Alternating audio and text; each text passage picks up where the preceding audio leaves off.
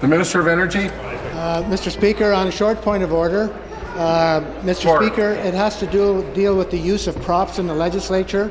Uh, shortly before I came into the uh, legislature today, a member of the opposition, uh, Mr. Speaker, challenged the uh, wearing of this particular tie, uh, saying that it was a prop. It's a tie that some people mistake as an Ottawa Senator's tie, and I just want confirmation, Mr. Speaker, that it's appropriate for me to wear this tie, which features some Roman centurions.